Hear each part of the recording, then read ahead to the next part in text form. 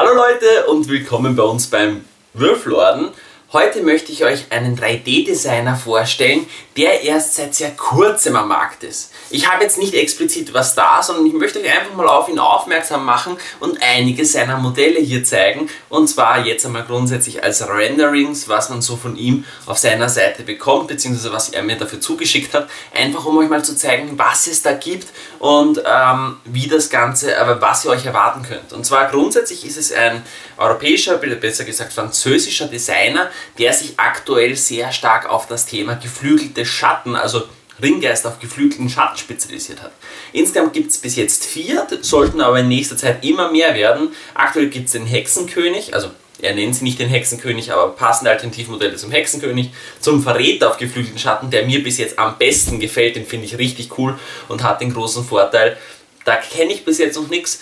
Hätte ich nicht ein Umbauprojekt zum Verräter, würde ich mir den wahrscheinlich sofort gönnen dann ähm, Kamul auf geflügelten Schatten und den dunklen Marschall. Also eine richtig coole, coole Auswahl. Ähm, ich blende euch da nebenbei immer so ein bisschen die Bilder ein, beziehungsweise spiele ein bisschen die Videos drüber, die es von ihm schon gibt und die sind richtig, richtig stark. Außerdem hat er auch einen alternativen Gullauer gemacht, den ich persönlich sehr, sehr cool finde. Was ich daran stark finde, er verkauft einerseits die fertig gedruckten Miniaturen, äh, versendet jetzt auch in ganz Europa, wenn ich mich nicht irre, und andererseits verkauft er sowohl die 3D-Designs als auch die Lizenzen, diese als gedruckter Form zu verkaufen. Also eine richtig coole Sache meiner Meinung nach. Schaut es euch gerne mal an, ich habe es euch unten verlinkt. Ich denke mal, das ist ein, auf jeden Fall einen coolen ähm, ist halt auf jeden Fall eine coole Sache und ist einmal ein Blick wert, dass man sich das Ganze anschaut. Weil schließlich, wenn mal wer, wenn wer was macht, sollte man ihm auch die Aufmerksamkeit geben, die er verdient. Vor allem, er macht wirklich cooles Zeug und da lohnt es sich schon zum Reinschauen.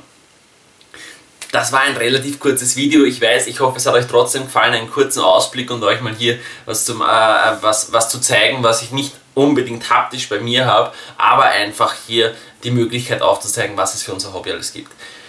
Vielen Dank, was haltet ihr die, von die, die, die äh, Modelle? Schreibt es in die Kommentare. Danke, dass ihr heute eingeschaltet habt und hoffentlich bis am Samstag zum nächsten Video. Bis dahin wünsche ich euch alles Liebe.